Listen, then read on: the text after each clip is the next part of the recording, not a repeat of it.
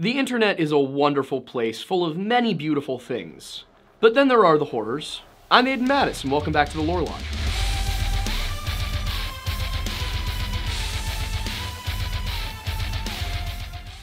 In the year 2014, Waukesha, Wisconsin was a nice little borough, a nice little city of about 65,000 people.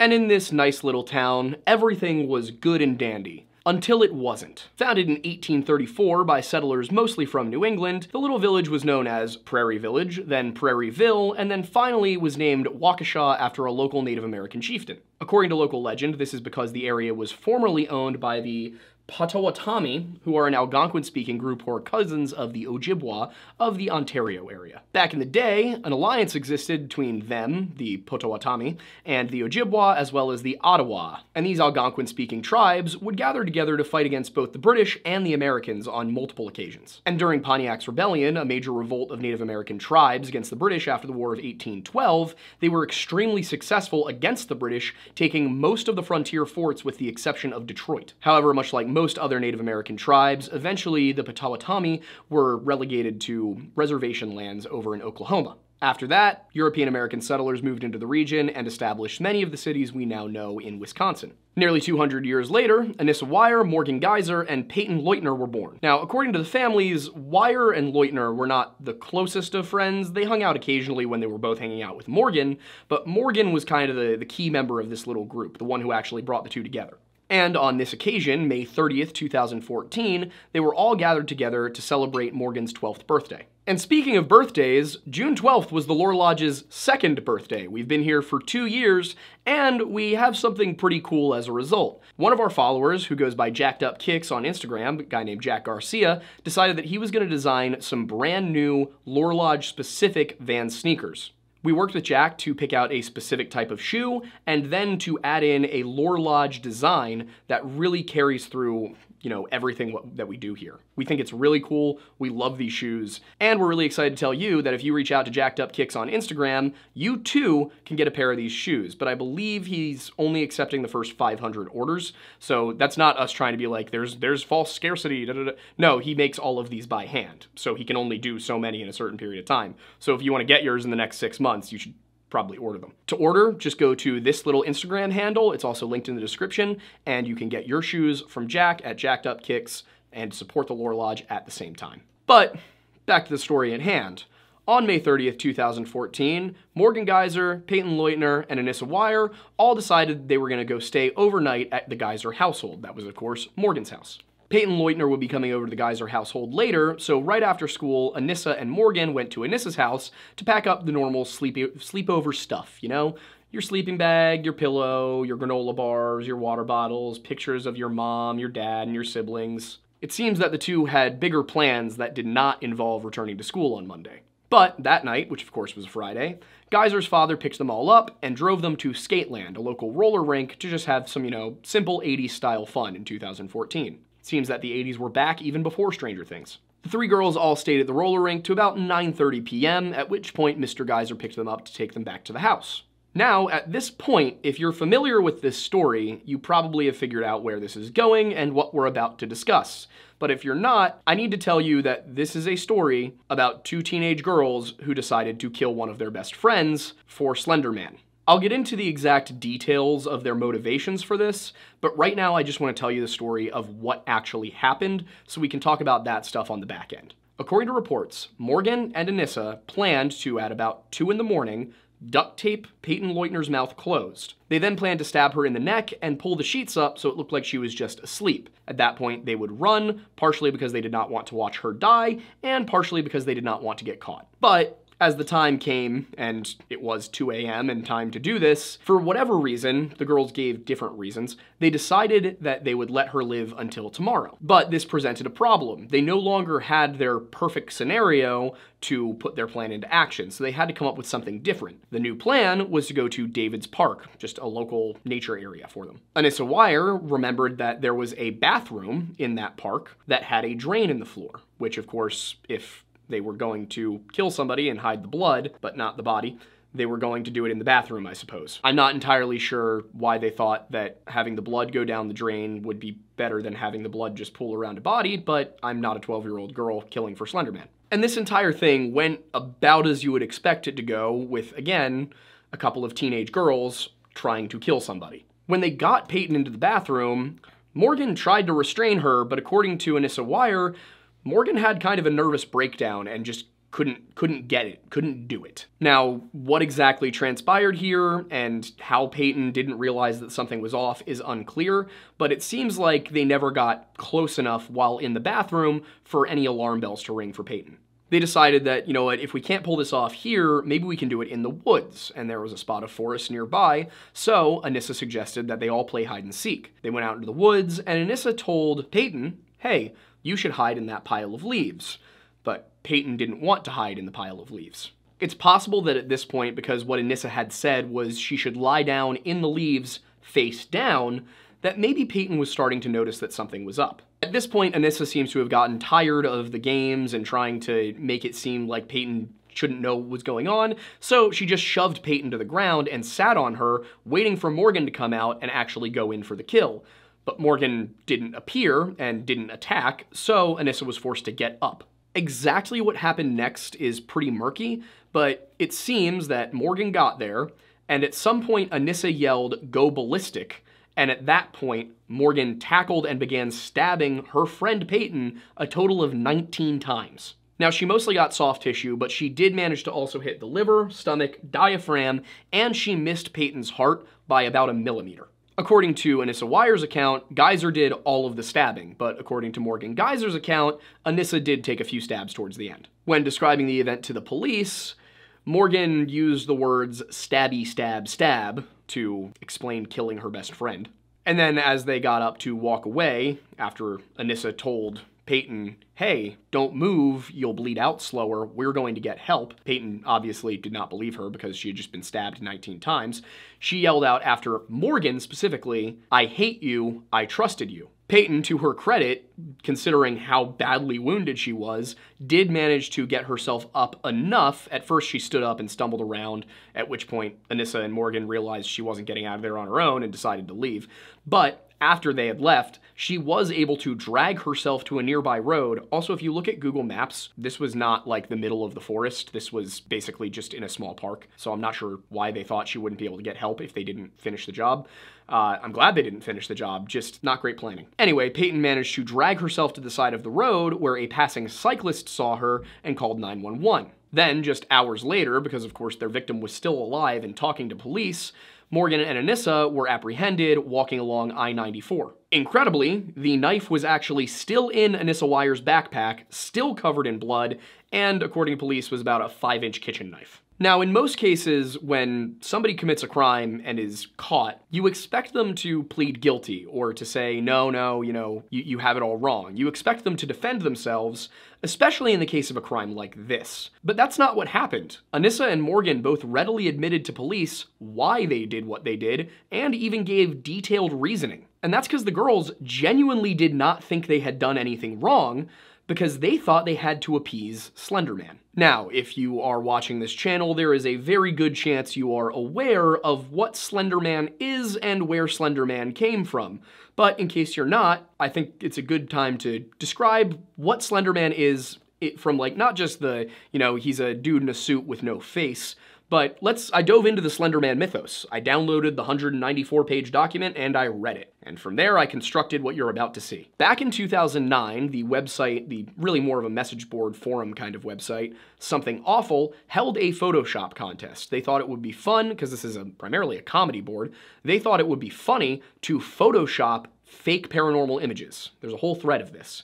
Some of them were actually pretty damn good. But one submission by a user named Eric Knudsen depicted a tall humanoid figure in a suit with long, slender arms and legs, black tentacles protruding from its back, and no visible facial features. That being became known as Slenderman, and it very quickly became one of the best known creepypasta figures on the internet. Of course, we might refer to The Rake or Ted the Caver as the first creepypasta, but this was probably the first creepypasta that really made it out of that community and into a much larger mainstream. Even if you don't know what a creepypasta is, there's a good chance you know who Slenderman is. Internet series like Marble Hornets, which is fantastic, I highly recommend it, that developed within months and then by 2012, independent studios were releasing games like Slender, which eventually became Slender the Eight Pages. And of course, that first game came out in 2012, just three years later. And much of the information, much of these original stories about Slenderman,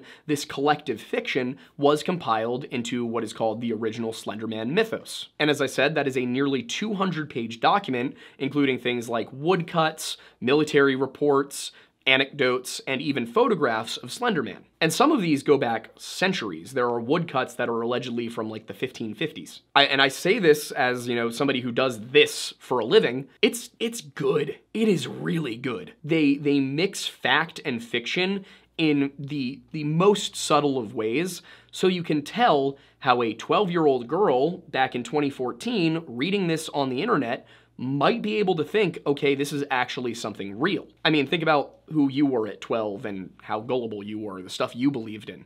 We all had crazy stuff we thought of. Like, for example, when I was a little kid, we thought that Michael Jackson was the first transgender person ever. I don't know why, but that was a myth that went around. Do you remember that one? I don't actually. Maybe that was just my school. Now, within that document, there are a few pictures of things like hieroglyphs that kind of look like they have Slenderman or cave paintings, but it starts to really get intense in the late Middle Ages and early Renaissance period. One of the first really solid examples is Baldung's Three Ages of a Woman and Death, which in this universe, in this mythos, when you put it under a certain light, you can tell that the figure of death used to have several more limbs protruding from his back.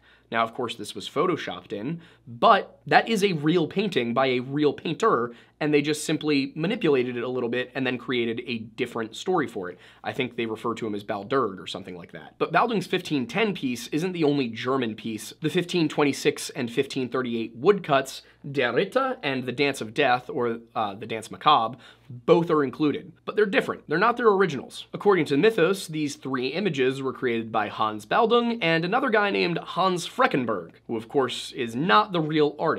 But according to the Mythos, Freckenberg's works are typically very anatomically accurate. In fact, unusually so for the time. But if you look at the image on the screen right now, you'll see that the knight to the right side in Der Ritter is not anatomically correct. And in The Dance with Death, which is of course in a similar vein, you'll notice that the figure that is leading the small child out of the house does not look like a human, nor does it even look like our depiction of death. The mythos also claims that Freckenberg simply disappeared from Hallstatt in 1543. Now, of course, all of this is edited history, but it's really close to the real history. If you look at the original Der Ritter and the original Dance Macabre, you'll see that they were only slightly changed. Only one figure was, and they didn't even really change them all that much. In Der Ritter, they just added some legs to the kneecap plates. In the Dance Macabre, he's taller and he has more limbs, but he's still a skeletal figure. And the real real Freckenberg, Hans Holbein the Younger, a Swiss-German artist, did in fact die in 1543. But it was in London, not Hallstatt, and it was most likely of an infection, not a Slenderman attack. And I'm not saying that it was possibly a Slenderman attack. I'm saying we think he died of an infection, but there were other possibilities that were not a Slenderman attack. To be very clear, Hans Holbein the Younger did not die in a Slenderman attack. And then aside from woodcuts and paintings, there's also folklore from Europe that's given. While it's noted that England and Germany share this creature, the exact folktale that is given is from Romania. And if you've been watching this channel, we have a video on vampires that'll tell you exactly how weird Romanian folklore can get. In that Romanian folktale, the two girls, who are the central characters, are described as being very brave and very obedient to their parents. And they are off picking berries in the forest with their mother when they come across something strange. They see a tall man dressed in the outfit of a nobleman just standing there in the clearing. And in this story, this all is occurring just before noon, so Slender Man does not only appear at night. And this is how they describe the tall man. Shadows lay over him,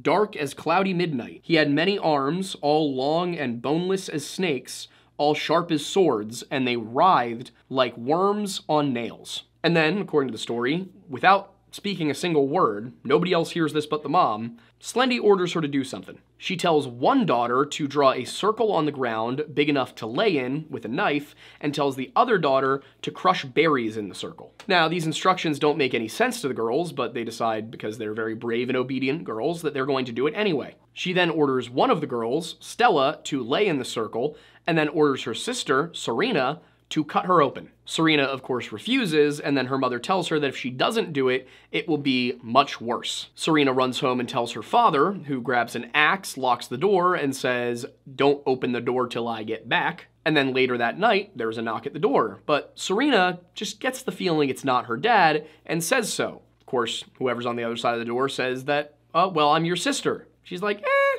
I don't think you are. Then finally, it admits it's the mother, and she says she's not going to open the door, so the mother naturally just blasts the door down, just breaks it down. And then the mom tells her daughter, There is no reward for goodness, there is no respite for faith, there is nothing but cold steel and scourging fire for all of us.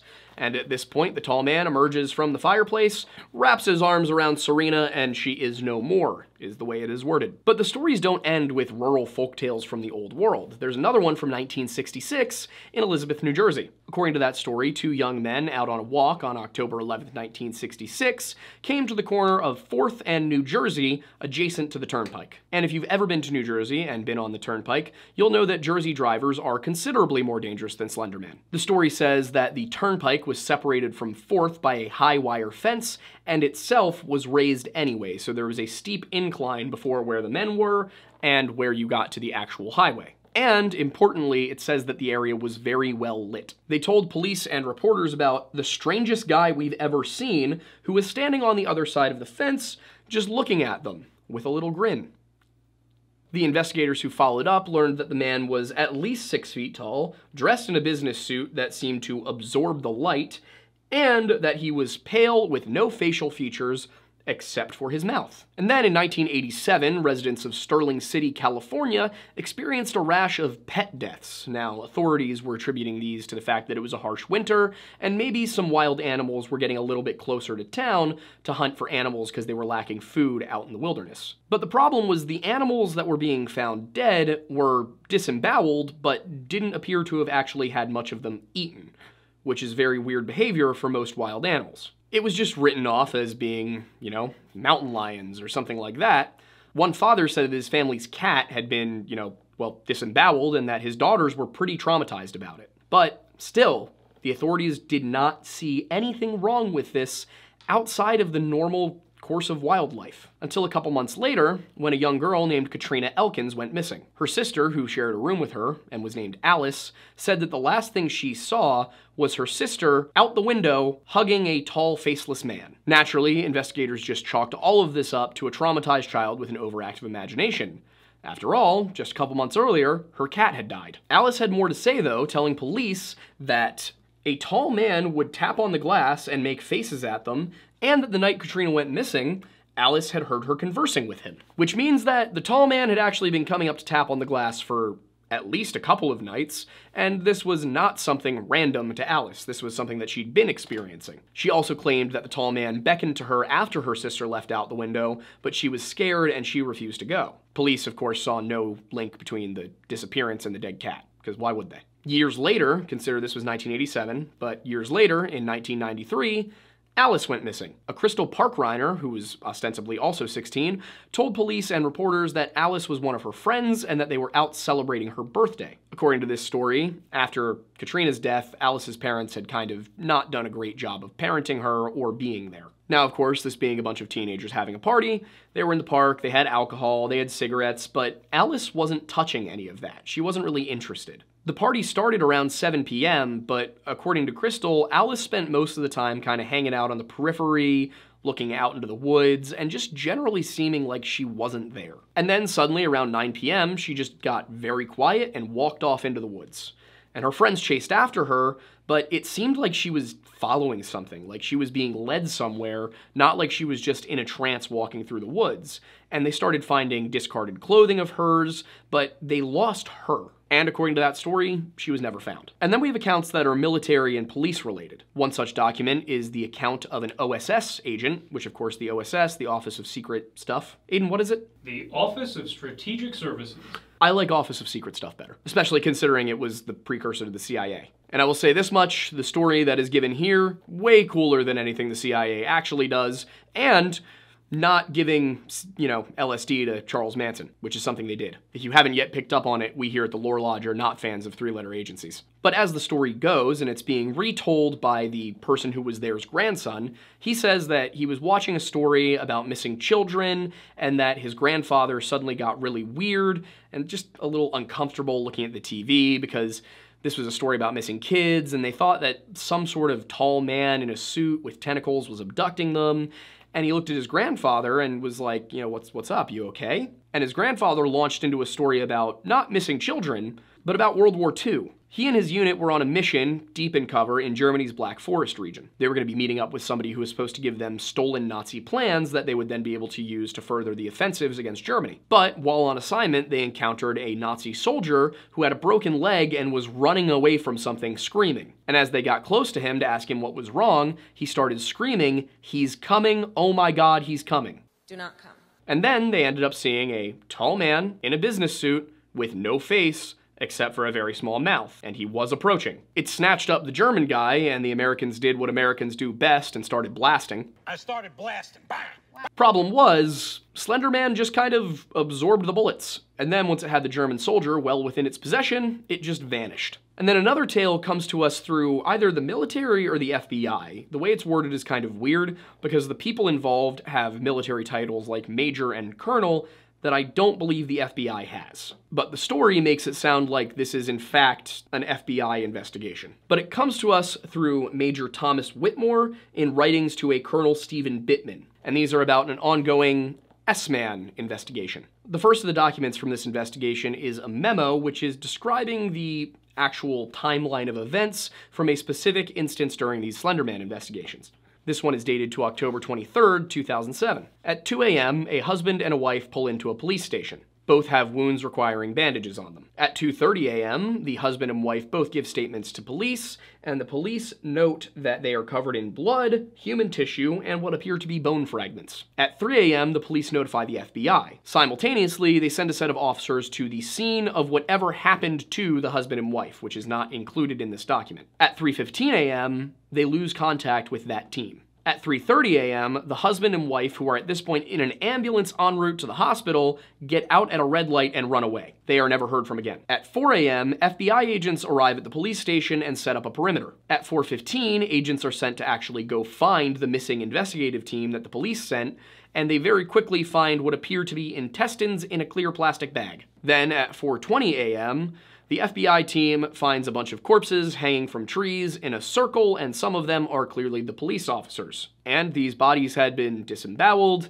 and their organs were in clear plastic bags placed within their bodies. Their intestines were missing. This saga continues with another memo dated a week later on October 28, 2007. This is not a timeline, but rather an update on the progress of the investigation. According to this document, another attack has occurred, this time in Yellowstone, or near Yellowstone. Analysts note that it seems this thing prefers forests because it blends in well with the trees. Whitmore then notes that the team that was sent to retrieve the bodies has also been lost. Now, it's a little difficult to tell exactly what happened here, but I think I figured it out. It seems that apparently five men ended their own lives after coming across all of this because of what they saw, and then a sixth, a Sergeant Connor, is being kept sedated in the hospital because he seems to have bitten off his own tongue and did something that is not mentioned but is clearly horrible to his own brother. And then a November 15th report from the same Whitmore details that he is having problems now.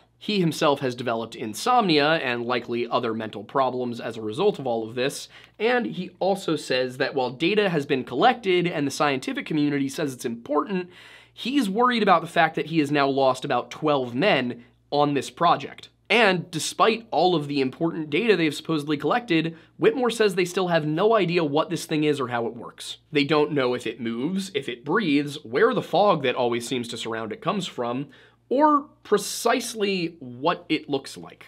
because they, they can tell that it's faceless and tall with tentacles, but they have no good footage. And then the next thing we get in this saga is a discussion between Major Whitmore and a Major Thomas, or sorry, a Major Thompson. Thompson appears to have witnessed an attack firsthand, saying, It came, it came to us. I'm gonna come.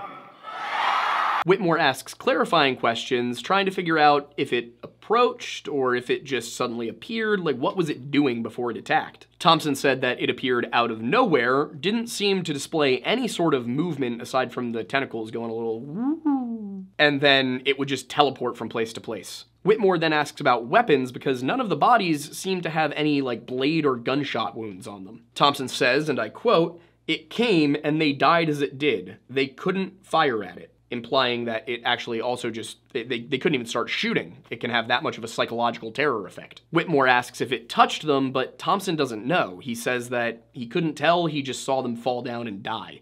In fact, he says he heard their death rattle. After that, it traced a line down their bodies and they just kind of split open. At this point, the interview ends and there are no further entries in this saga. But of course, these are all just stories, right? Can you really believe them? Well, once the photographs get involved, it's a little easier. Modern cameras allowed for a lot more captures of Slenderman out in the open, but interestingly enough, in a lot of them, it seems pretty clear that the person taking the picture doesn't see Slenderman. And interestingly enough, Slenderman's exact size varies from picture to picture. Some he's about six feet tall, in others he's as tall as the trees. I do find it interesting that this has some involvement with German and Eastern European folklore, because there is a creature, in some cases it's a deity, in some cases it's a spirit, depending on which exact tradition you go with, but there's this creature called the Leshy, which is a forest guardian spirit. And unlike Slenderman, it's not malevolent, it can be either helpful or harmful or totally neutral, but it does vary in size depending on the size of the trees and plants around it. So it could be as small as a blade of grass or as tall as a tree. So it is interesting to see how actual little tidbits of folklore make their way into these internet legends. In most, but not all of the images, he is also partially obscured by something. He'll be behind a tree or in some fog or around the corner of a building, which interestingly enough also ties in with a creature called the Hide Behind from American folklore.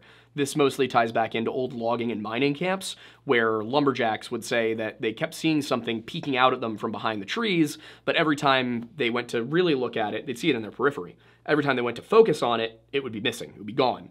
And of course, the only way to protect the hide behind, to protect yourself from the hide behind, the only way was to drink because it did not like the scent of alcohol, which of course could be a, a good old down-home American folk horror story, or it could have been a very creative excuse to drink. I will allow you guys to be the judge. The fog is also an interesting aspect because nobody seems sure from the reports whether he brings the fog or whether the fog brings him. But in a few, he is plainly visible in the picture, like only 20 feet from the person that's taking it. He is very obviously there, but nobody seems to notice him, which is why I said it seems like he's not always, it seems like he doesn't always appear to his victims, unless he wants them to see him. One such image shows about nine or so children at the park, Slenderman just vibing in a circle of them, and nobody seems to notice he's there. Now, the photo is dated 1986, and allegedly it was found in the remains of a burned down library. Also an interesting thing about this entire story it seems that capturing him on film makes him more aggressive. Another photo, included here, shows three people at the Wilkes estate, and this one is dated to 1995.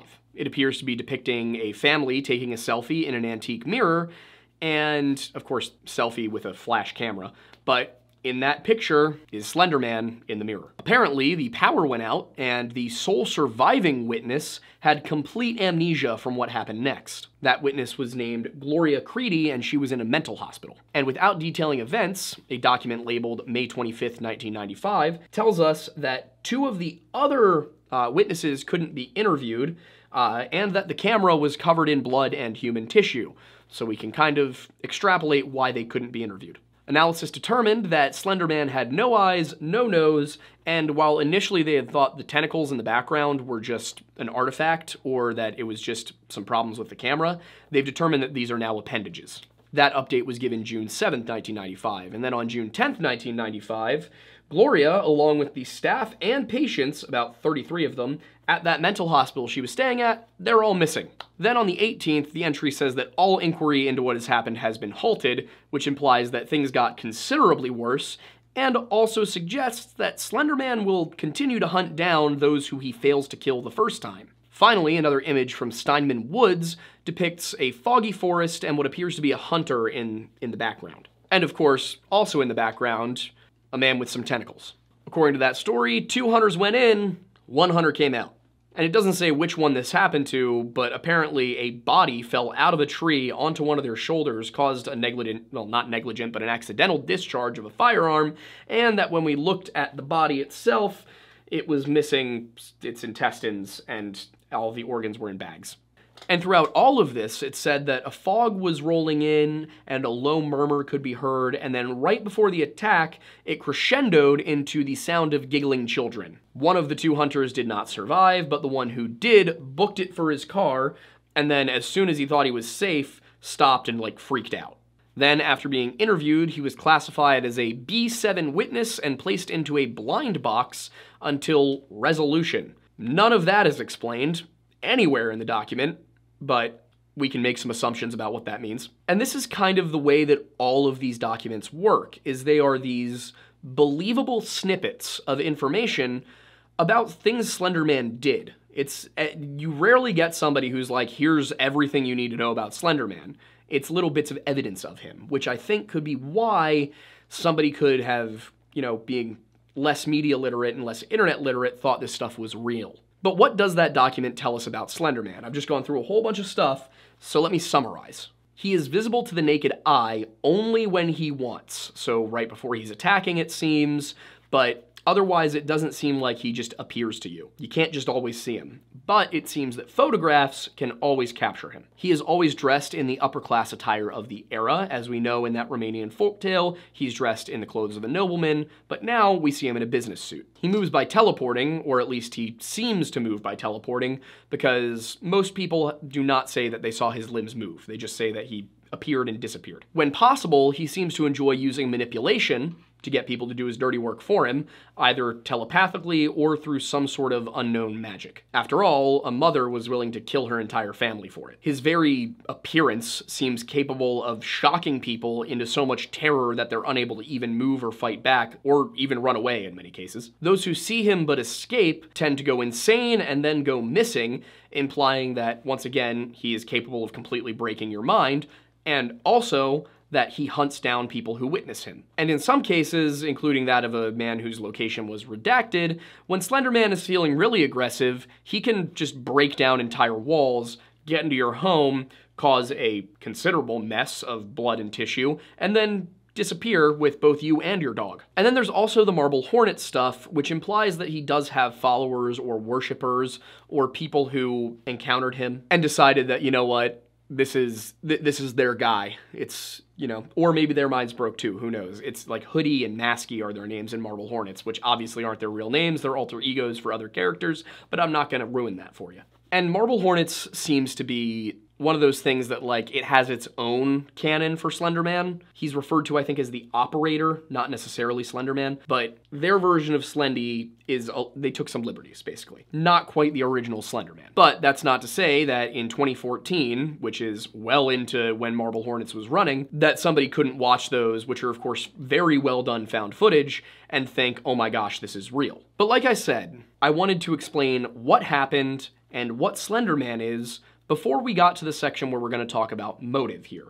Because, once again, this is a video about a very real crime that occurred. And we need to ask the question, how did all of this lead Anissa Weier and Morgan Geyser, who are now both adults, to commit the crime they committed. According to Payton, as well as other students from the school, Morgan and Anissa were obsessed with Slenderman and talked about him nearly constantly. Of course, Payton, who also believed that Slenderman was real at the time that they were initially talking about it, found him very frightening, didn't like the mythos, and often would not like to be involved in these conversations, which just brought Anissa and Morgan closer together and likely contributed to why they picked her as the person to slay. At one point, Payton's mother, Stacy, had to sit down with her, go through the Slenderman stuff, and be like, Does this really seem real to you? At which point, Payton was like, No, no, it doesn't. Now, according to documents from the time, a lot of people talk about Slenderman and they talk about the Creepypasta Wiki and Marble Hornets.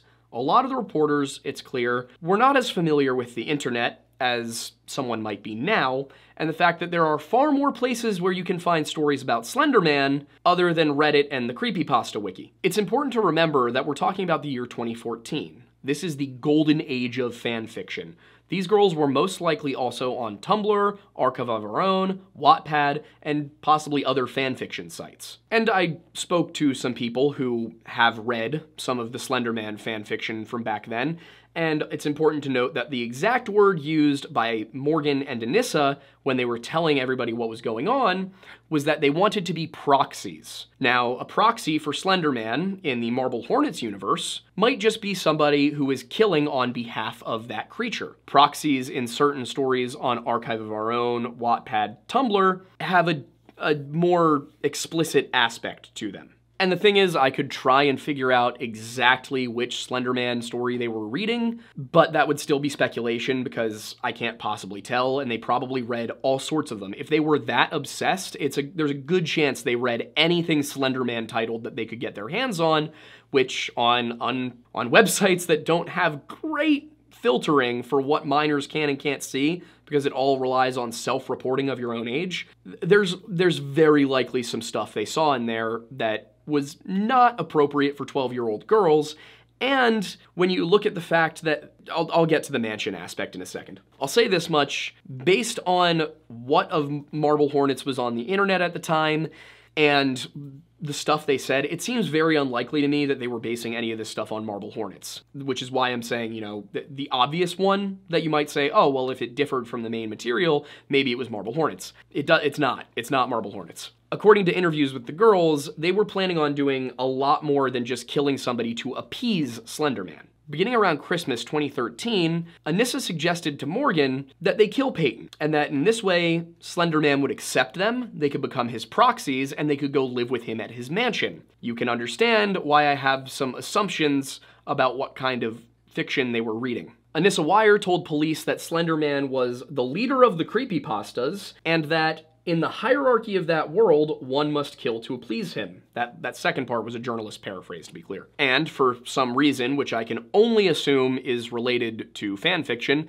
they thought that he lived in a mansion in Nicolet National Forest, which is about 300 miles from Waukesha. Now, this was 2014, and in 2012, a game called Slenderman's Shadow came out, which did include a mansion map, but that mansion is not in Nicolet National Forest. Maybe the girls thought, well, the mansion's in a forest, and this forest's here, but that was an oddly specific one. There's also, of course, the possibility, and this is pure conjecture, that they were talking to somebody on a forum who talked them into doing all of this for their own nefarious purposes. So there may be levels to this, but I don't want to say that that is what happened because I have no evidence of that. And once again, yet another reason that it seems like fanfiction was involved here is because there's no real Slenderman mythos from the established stuff that tells you what happens after Slenderman accepts you and allows you to live in his mansion. In fact, the word mansion does not appear in the 194 pages of the mythos. So none of the articles from the time, at least none that I can find,